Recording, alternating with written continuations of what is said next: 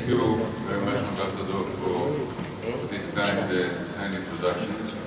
As, as you could hear from the introduction, uh, there have been two parts to my life and career, the academic part and the political diplomatic one.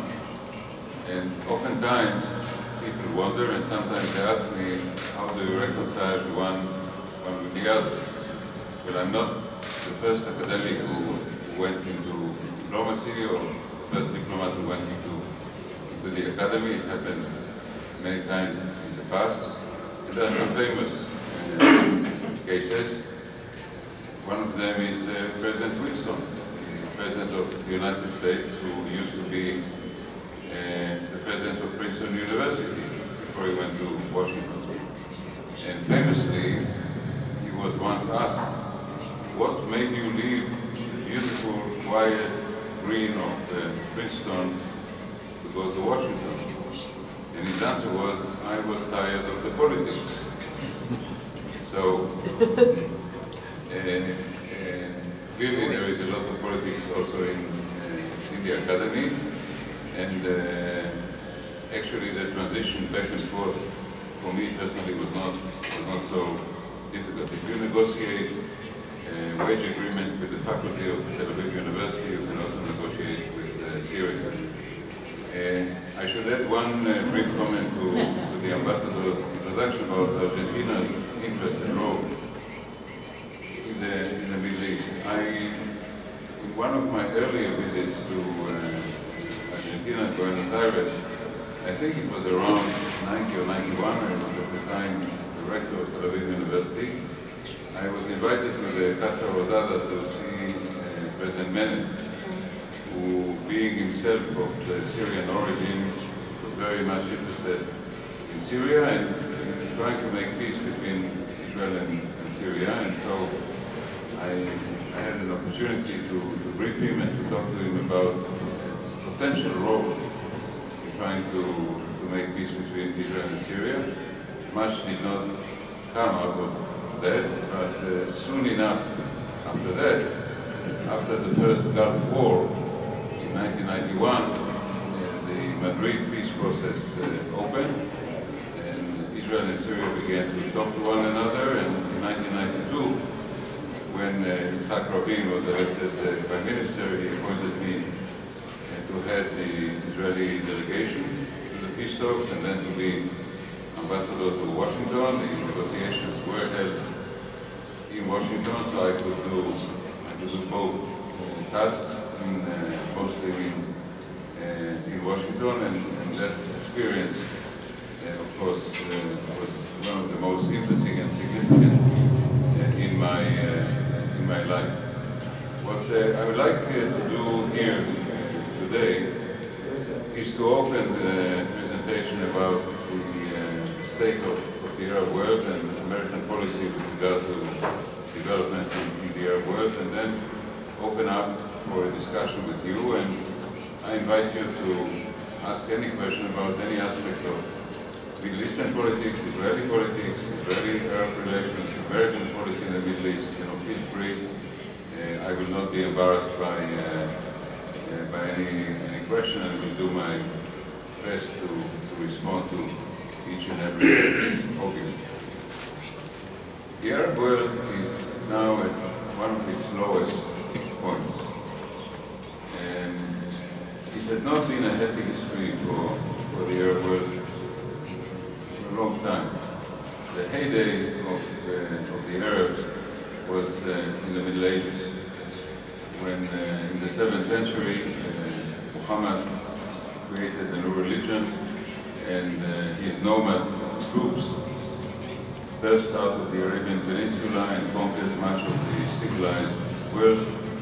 And uh, it turned out that he established a world religion and an Arab empire that stretched all the way from Iran deeply into Spain and France. Only in the Battle of Poitiers in 1732 that uh, Karl Martel stopped the, the Arabs uh, inside, inside territory of, France. But uh, it did not take long for the Arabs to lose power in their own empire, and the empire was taken over by Persians, by Turks, by Mongols, by others who, who were not who were not Arabs. And the, the Arabs felt that they've been dispossessed.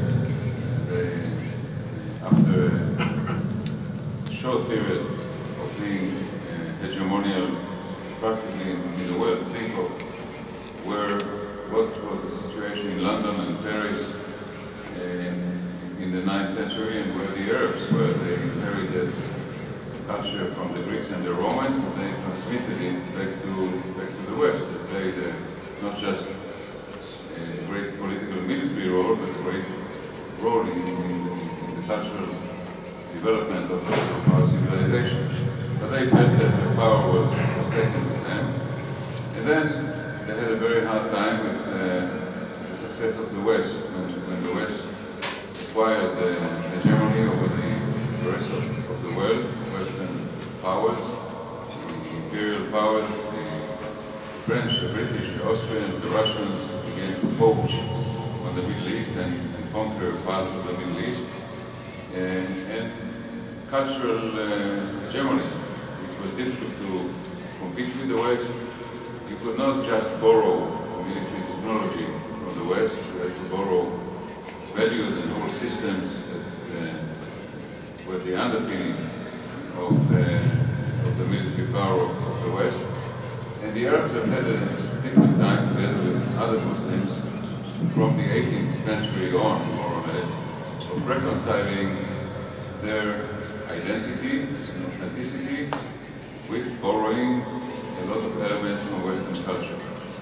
If we compare it to, to other peoples and cultures and civilizations, we will see the point clearly. Think about the Chinese, think about the Japanese. They've been able to master uh, Western technology, Western science, even Western art. Think of the Japanese and Chinese musicians, the violinists, who today are become very, very prominent on, on the music scene. And they have not lost their identity and their authenticity. They are Chinese, they are Japanese, they are proud of their culture and heritage, and they live peacefully with one foot in Western technology and in the other foot in their own culture and heritage. The, the Arabs have not been able to, to do that, and many people feel that if you adopt Western way of life or Western science or, or Western culture, you lose your identity and authenticity, and the reaction to this is to go back into religious fundamentalism, which is the main explanation as to why fundamentalist or Islamist movements are so important in, in the Arabs and in part of, of the Arab world. Not all over the Muslim world. If you think about Indonesia or about Malaysia, these are Muslim countries in Asia that uh, have been able to do pretty much what the Japanese and the Chinese have been able to do. But in the Middle East, the, the core area of, of the Arab and Muslim world, this has not been the case, this un unrest. Until the end of World War II, most of the Arab world was under French and British domination, but with the end of World War II came decolonization. The, the British and the French were pushed out, um, but they were replaced by the Americans and the Russians. And the Middle East became uh, an arena of, a very important arena of uh, the Cold War competition uh, between uh, the Americans and, uh, and the Soviets, which lasted from the early 1950s or late 1940s to 1990 uh, when, when the Soviet Union lost the, the Cold War and the United States became the sole sole superpower. And when, when this happened, and when the Soviet Union vanished from the scene, it was time for local potentates to, become powerful. One of them was Saddam Hussein in, in Iraq, and he thought he could take advantage of the situation by invading Kuwait and threatening Saudi Arabia. And it was then that the United States organized an international coalition, which it headed, and that coalition fought Saddam Hussein, liberated Kuwait, saved Saudi Arabia, and brought the position of the United States in the Middle East, in the Arab world, to an, an unprecedented high. It was the only superpower, it just won the Cold War against the Soviet Union, and it showed that when a client, a friend like Kuwait or Saudi Arabia were in trouble, they, they could act, and they could act effectively.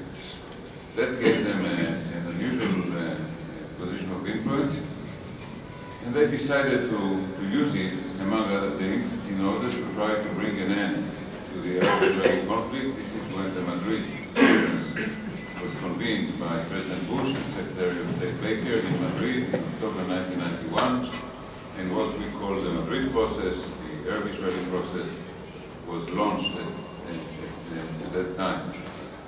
At that time, the United States could rely on local allies. Uh, Egypt was safely governed by Hosni Mubarak. The Saudi royal house was in control. King Hussein was in Jordan. There were uh, there were points of uh, trouble and problem, but, on the whole, U.S. position seemed to be secure. The United States was worried at the time by two powers on the eastern periphery of, Middle East. By Saddam Hussein, A decision was made in 1991 not to go to Baghdad. He was, he was left there, a wounded tiger, and he, was not sure that he would not uh, try to rebuild the nuclear power or to uh, rebuild his army, something to, to worry about. And more importantly, Iran. After the Islamic Revolution of 1979 and the hostage crisis with the, with the United States, American-Iranian relations became very hostile.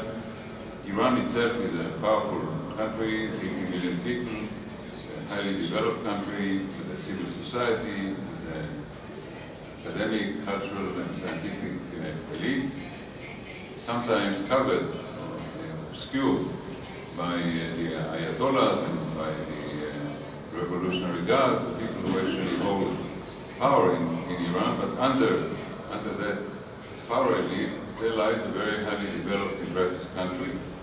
And of course, with the ideology of exporting the Iranian revolution, it, it became a dangerous power in the Middle East.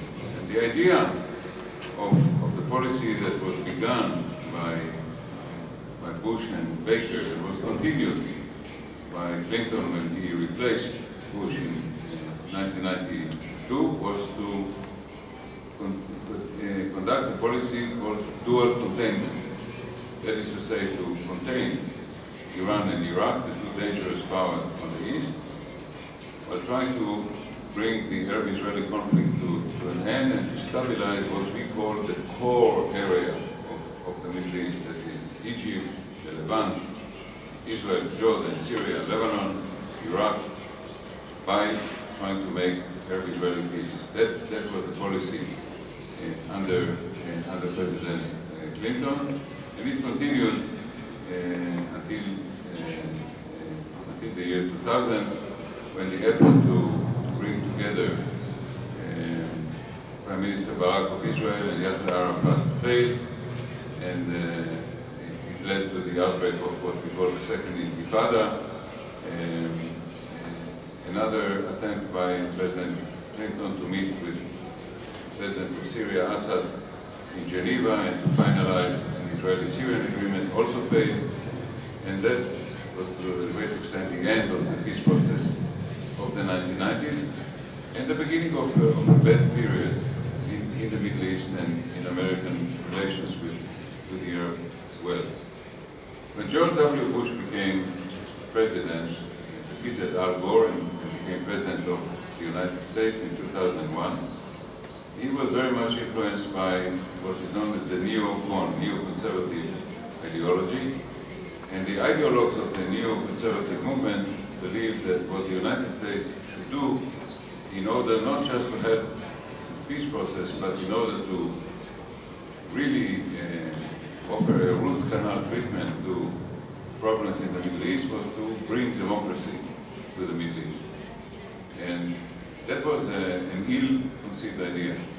democracy is not something you import or you export. Democracy is to grow. Uh, just having an election is not uh, is not uh, guaranteed for democracy, as we know our own experience in your country, in my country, in other places. For democracy to flourish, you need to have a large and strong middle class, you need to have civil society, you need to have professional associations that do not depend on the government, and, and so forth and so forth, respect for human rights and individual rights and the whole fabric that, uh, that creates uh, uh, the background for democracy. If you just bring democracy by forcing people to have an election, you can even monitor the election and make sure that it's a free election, that, that is not enough. Because in most cases, by the way, in the Arab world today, if you have a free election, a really free election, they will elect an Islamist party for the reason that I mentioned earlier. And what happens is when you elect an Islamist party to power, you, you can have a correction to the saying one man, one vote, and say one man, one vote, one time.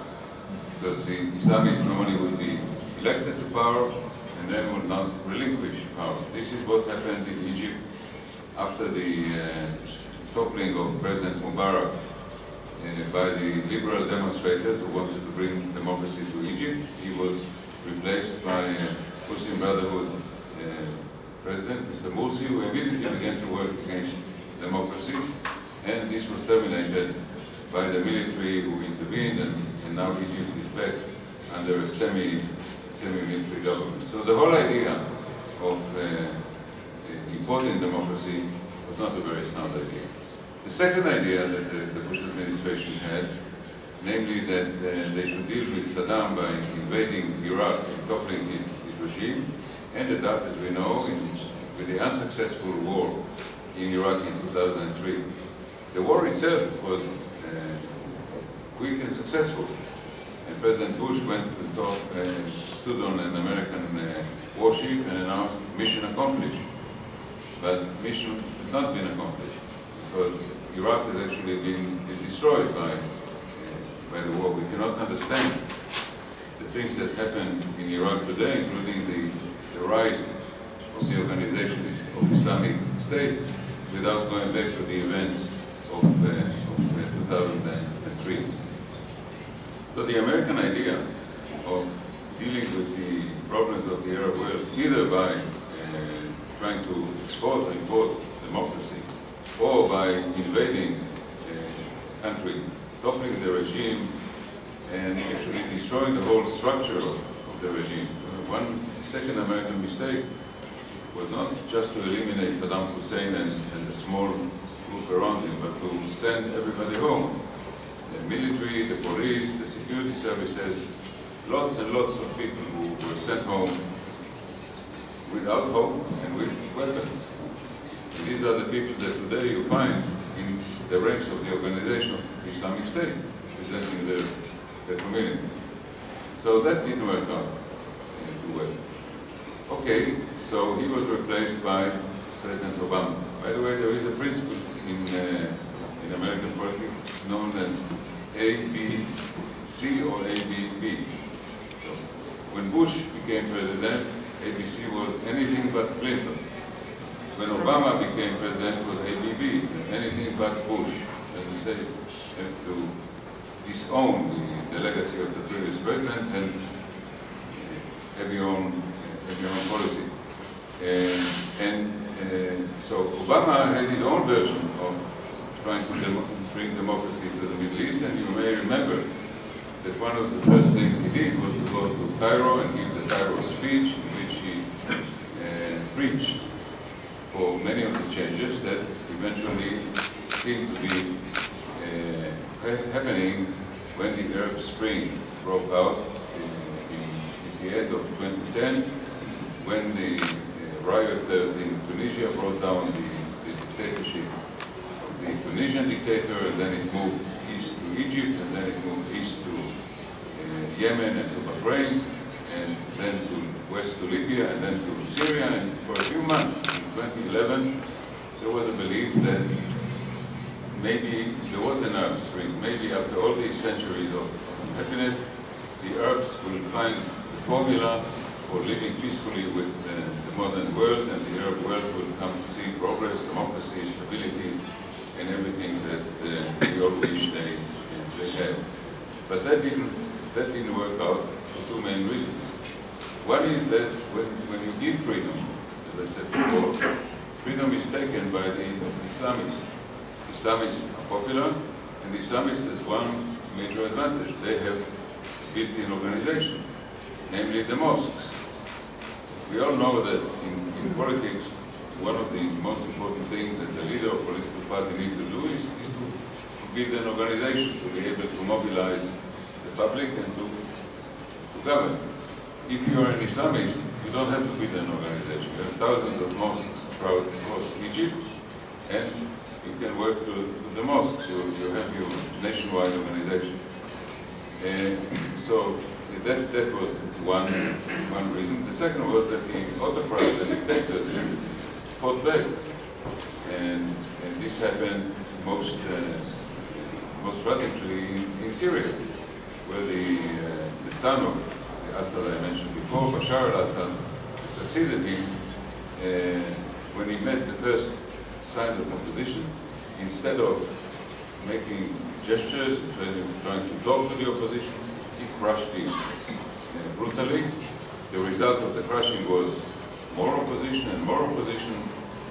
And if you remember that early day phase of the Syrian civil war, there were very large groups of Syrian civilian demonstrators going out to the streets, knowing full well that they will be fired on, that they will be captured, that they will be tortured, sometimes killed. And uh, they did they did come out. It was very impressive how the, the Syrian public uh, fought for for freedom and, and, democracy. But of course, at some point, it developed from a, uh, uh, demonstrations that, that kind of opposition to a full-fledged civil war because the opposition took arms and more importantly, and that's the point I, I want to stress very strongly, beginning, we're beginning to have support from the outside. What happened to Syria in 2011 was that Syria became the, the, the Spain of, uh, of the, the, Middle East. What happened to Spain in 1936, 1939 happened, is happening to Syria since 2011 it became the arena, the battlefront for the regional and international uh, uh, competitors. The regional competitors are mostly two. On the one hand, Iran, and on the other side, Saudi Arabia.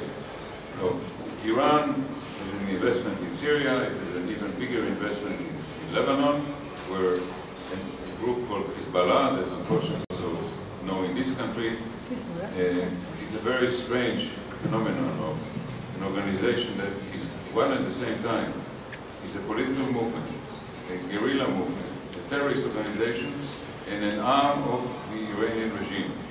And all four entities coexist in, in the same, same movement. This is an investment they made in Lebanon, where there is a Shia community, and Iran is, is a Shia Muslim country.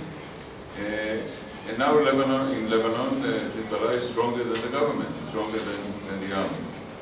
And Syria was the gateway of uh, Iran to, to Lebanon. It was another important investment of the Iranian regime. And of course, when the civil war broke out and there was a danger that the regime would be toppled, Iran came to, to the rescue militarily. Much of the fighting in, in Syria is now done for the regime by Iranian soldiers and by Hezbollah soldiers who come from Lebanon. On the other side, Saudi Arabia has a lot of sympathy for the Sunni majority in Syria. From the Saudi point of view, the Alawite minority that is in control in Syria, which the Assad family comes, are not proper Muslims. They are sectarians, they are not uh, proper Muslims. And the Saudis, and like them, the other countries, uh, are willing to invest a lot of money and effort in order to support the opposition. The same holds true for Turkey, for Jordan, to some extent for, for Qatar. On the international level, uh, the support for the regime came from Russia. It has a military naval base on the Syrian coast and, and wants to protect it almost at all costs. And on the other hand, a, a group of uh, Western nations, both West European and the United States, who felt that a ruler like Assad could not be tolerated. A man who butchers his own people cannot remain in power. A man who uses chemical weapons against his own people cannot be recognized as a legitimate ruler. And so all these forces uh, were fighting through proxy in uh, Syria, not but actually have been fighting in, Syria. The result is, of course, devastating. Quarter of a million people or so dead, uh, 10 million uh, out of a population of 22 million refugees, 6 million in their own country and 4 million outside their own country. They are destabilizing the neighbors. For a small country like Lebanon to have a million Syrian refugees, for a country like Jordan to have a million Syrian refugees is something quite a challenge. And, and of course, Europe is now feeling the impact with the, wave of Syrian immigrants who, with Turkish help, are being shipped to, uh, to Europe and, and go uh, the Balkans to Central Europe and try to reach Germany, Sweden, other countries that, that may, at the end of the day, uh, absorb them. So uh, Syria is, uh, is a very important uh, case. I think it's the focal point now of uh, Middle Eastern politics because it marks the end of the Arab Spring. This is when the Arab Spring turned into an Arab winter. It is the area in which the most important regional actors are fighting it out. And it is an area where American policy is colliding with Russian policy. Let me now say something about the policies of both the United States and, and Russia. The United States uh, is not interested in becoming heavily involved in Syria for two reasons. One is that in the overall view of uh, uh, the Middle East by the United States, there is a sense that the Middle East today is less important for the United States than it was, say, 15 or 20 years ago. To a large extent because of the uh, decline in the importance of oil a source of energy. Uh, we all know that uh, the price of oil went down from 100 to 110 dollars a barrel to about 50.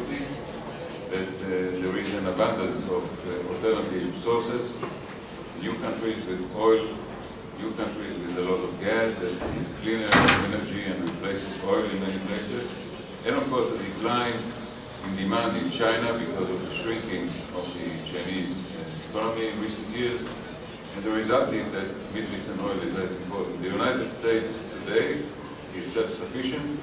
Soon enough it's going to export energy. It still has to worry about the West European and other, other allies and their oil supply. But of course, the days in which the US itself depended on oil from the Middle East are, uh, are over. The second is the feeling that uh, the, the point of gravity is shifted and to the Pacific, the, the rise of China, the importance of uh, India, uh, the fact that China is becoming militarily more aggressive. It's now constructing artificial islands, trying to expand its uh, naval, naval influence, possibly colliding with the Philippines, with Japan, with Taiwan. They all require a lot of American attention and, and resources, and uh, this investment comes at, to some extent at the expense of investment in, in the Middle East. More important, President Obama, as I said, was elected to a great extent as a, a reaction to, to George W. Bush. He was even given a, a Nobel Peace Prize in advance uh, because he was not Bush. And uh, he took it. Um, and one of his conclusions after the unsuccessful investments in Afghanistan and Iraq was that, as they say, uh, the idiom, no boots on the ground. That is to say, we are willing to make investment, we are willing to do something from the air, but we will not, America, will not send American soldiers to fight on the ground in another Middle Eastern country. Uh, one advice that the, the, President was given by Colin Powell, the former Secretary of State, state is, if you break it, you own it. That is to say, if you intervene in Syria and you topple the regime of Hafez al-Assad, you will end up being in charge the way you were in Iraq. And that's not what you want to do. And of course, the, the crucial point in time in this regard was the famous red line. And, uh, President Obama uh, announced famously that if Assad will use chemical weapons against its population, it would be, I quote, a red line and a game changer for me. And lo and behold, a year later, it turned out that President Assad did use chemical weapons against his population. Killed 1,500 civilians near Damascus in one day with chemical weapons. It could not be denied, it could not be hidden. And President Obama decided that after all, he will not uh, do anything with the cross line or with the changing of, of, of the game. And that was a very clear message, not only to Syrians, but to others in the Middle East. You cannot rely on the United States to intervene on your behalf if, if you're a client or if, you're a friend. So a vacuum was created. And who moved into this vacuum, of course, but uh, uh, Putin, President Putin of uh, uh, Russia. Uh, why? For two main reasons. One is, one is the, the feeling that what is happening in the Middle East, particularly the rise of this awful organization, the Islamic State, has repercussions and can have even greater repercussions for Russia itself. Russia has a large Muslim minority. That minority is going to, to become more and more significant in Russia because, uh, because demographically the Muslims grow exponentially more than, than Russians who tend to have small, small families. The Moscow had a bloody conflict with uh, uh, in Chechnya with the Islamist opposition. That opposition exists in other places in, in the Caucasus, in Ingushetia, and in other places. And the idea that Islamic State may expand into Russia is absolutely unacceptable Putin and to, to others in the Russian leadership. And secondly, Putin is determined to restore Russian glory. I think he is realistic enough to understand that Russia is not the Soviet Union, that Russia cannot be a full-fledged competitor with the United States and in future years maybe China, but he wants Russia to be recognized as a, a member of the very small team of nations that, that live the globe. And, and he recognized the, vacuum in, in the Middle East and the vacuum in Syria. And he came to the wrong conclusion, I emphasize the word wrong, that with a relatively small investment, you can make a big difference in Syria. I think he has discovered that this was maybe an erroneous uh, judgment. There's been immediate retribution from the Islamic State by exploding a, a Russian jetliner, uh, a passenger airliner in, the Sinai, as, as we know. And uh, things on the ground are not going, not going too well. There was a, a big show at the outset, Russian cruise missiles being fired from the Caspian Sea, and Russian jet fighters bombing targets in Syria.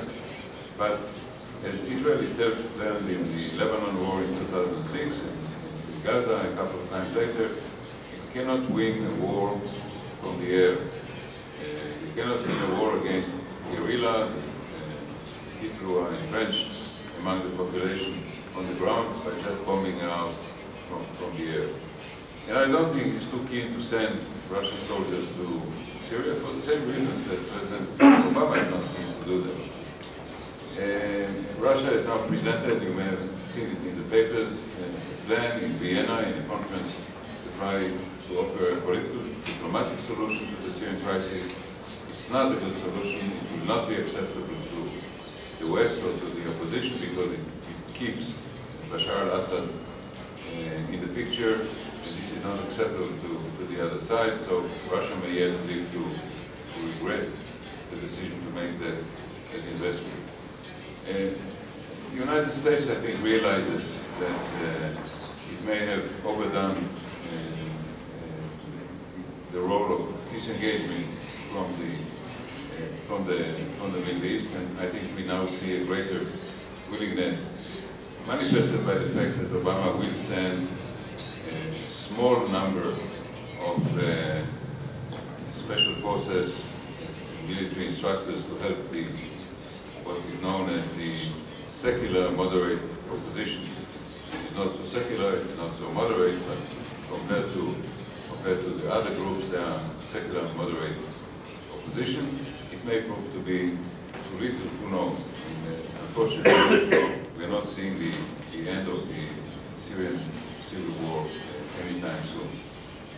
Uh, the Middle East remains uh, an important part of the world.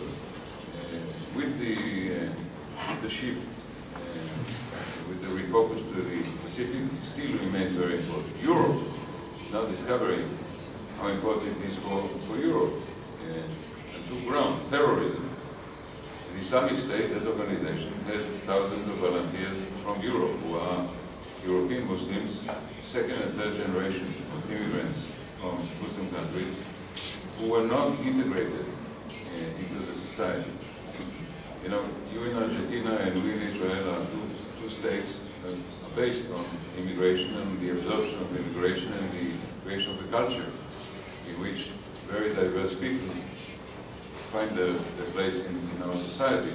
This is not the case in, in Western Europe, and these immigrants are alienated, and they find in, in the message of uh, this organization something very appealing. They go to Iraq or Syria, they spend a year or two fighting, and then they come back to France, to Germany, to Holland, to Belgium, as trained terrorists. And this, uh, is very frightening for, for these countries. They are willing to talk to Assad in order to get information on, on their citizens in, in Syria. And more recently, the, the weight of, of the refugees that Europe is incapable of, of dealing with. And therefore, if you tell a European leader that you may not like Assad very much, you may not like his regime very much, but if you want stability, some stability in Syria for the refugees to, to stop coming to Europe, you might want to talk to Assad, and some of them are, are willing to do, are willing to do that. So the Middle East is, is close to Europe. It, it affects Europe. It affects North America. Uh, it affects South America, as you know all too well from terrorist acts in, in this very uh, in this very city. So to, to, conclude, I would say this: the, uh, the crisis of the Arab world is, is not going to come to, to an end very soon. The United States uh, will have to play a more active role if it doesn't want to leave the, the stage to, uh, to, a Russian role. My own country, of course, lives in the midst of, of all of this. It has peaceful relations with some Arab countries. We are unfortunately still in the midst of uh, our conflict with the Palestinians, about which we can talk if you want to raise it in the questions and uh, answers uh, period. But we are doomed, I'm afraid, to, to live with an unstable Middle East for some time to come. Thank you.